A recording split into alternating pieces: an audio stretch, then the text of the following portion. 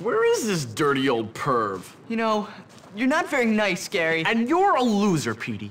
One of life's unfortunates. Get out of here, you little scum!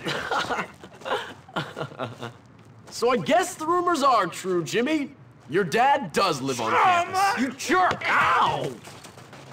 Let's leave this guy to his welfare payments. Come on, let's get out of here. Just get out of here, kid. Why should I? Because otherwise I'll kill you. What's your problem? That's a long story. You got any liquor? No, I'm 15. Well, what about drugs? No! Then why shouldn't I kill you? All right then, tough guy, kill me. You know what, kid? I like your style. You got guts. When I was on that ridge in Korea, watching my buddies get killed by friendly fire, I could have used somebody like you. Yeah? Thanks. But I bet you can't fight.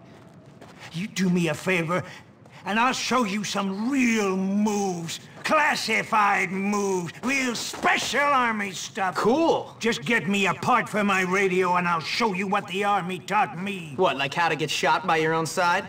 Exactly.